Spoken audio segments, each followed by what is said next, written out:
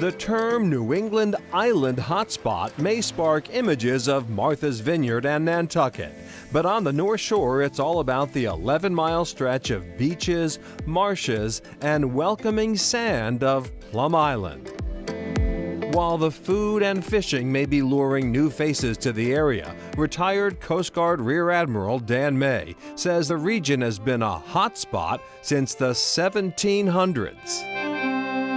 We're sitting right at the mouth of the Merrimack River. There were no jetties here at the time. There were shifting sands.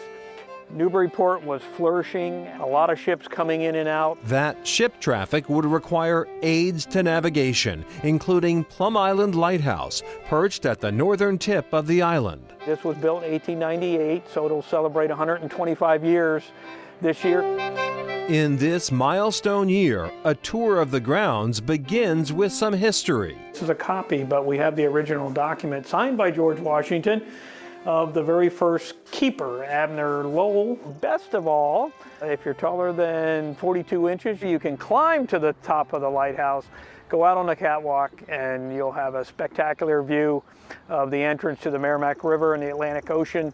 The lighthouse is still active, one of more than 150 scattered on the coast from Massachusetts to Maine many more than the Coast Guard could maintain, if not for a movement to transfer stewardship of these structures to local governments and dedicated organizations such as the Friends of Plum Island Light. Of course, the Coast Guard will still come and maintain the light, but everything else is up to the Friends to do, and they've done a marvelous job in maintaining, as you can see here today. From Plum Island Light, we traveled down island for spectacular views of the original light at Sunset Club. We called it Sunset Club because the, the sun in the summertime sits right there and it's just absolutely stunning. Co-owner Bo Sturm is no stranger to the hospitality industry with several restaurants including one in neighboring Newburyport. But on Plum Island, he felt something special. It's not as well known as a lot of the other beaches, but it's magical here. Local residents have long appreciated the beauty of this location, even when it was the site of a service station and a friend's private residence. Two people pull up in front of his house, get out, literally on his property in front of his house, put lawn chairs out, grab a bottle of wine, and start watching the sunset a light bulb went off. The service station was converted into a bar, and the space was renovated to elevate that moment they had witnessed. That was one of the first things that we really wanted to do is be able to have people sit by the fire and watch the sunset. That was kind of a fundamental thing to us, and um, it really worked out great. In the kitchen, the theme is beach food, but not the kind you might expect. Each food from all over the world.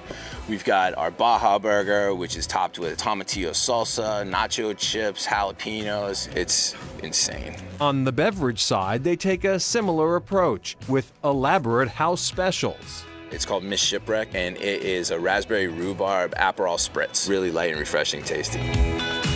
We have bocce, we have cornhole. The kids can kind of play. I think this is kind of a perfect spot.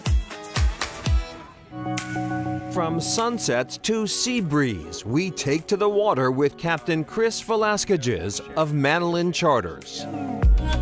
What's really great about Plum Island is it's just so consistent throughout the summer. You know, we have a whole summer basically from the first week of May all the way through October when it comes to striped bass. Prefer bluefish, shark, or giant tuna? It's all here, which is why he's hosted people from all 50 states. Well, almost all. Anybody here from uh, South Dakota is watching. I think that's one out of like three I need left. Most of the people are fairly local. Now, you're a school teacher during the day. What is it that you love about this, about being out here? Well, I just love being outside, being outdoors, growing up on the water and just seeing how nature interacts with itself. It's really cool when you get to see it every day. We pick a spot to cast our lines and quickly discover a most unusual fact for a charter captain. You love to fish? Yeah. You make a living fishing, but you don't eat fish? Don't eat them. Don't eat them. I don't know, maybe I'm cooking them wrong, but I, I can't get into it. Really? Fortunately, catching fish for himself is not what puts him on the water every day. Love taking kids. You know, putting kids on good fish and giving them a fun day. There's nothing like that. That's the best.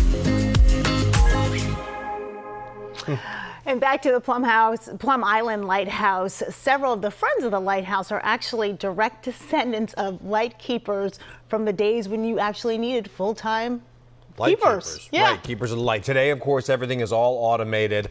Um, they do, however, at Plum Island maintain the 1897 era Fresnel lens that is in the lighthouse. That is something you can see on tour, which is available by appointment. Beautiful spot. So pretty. We'll have more from Plum Island a little later in the show, but first, a city view from above.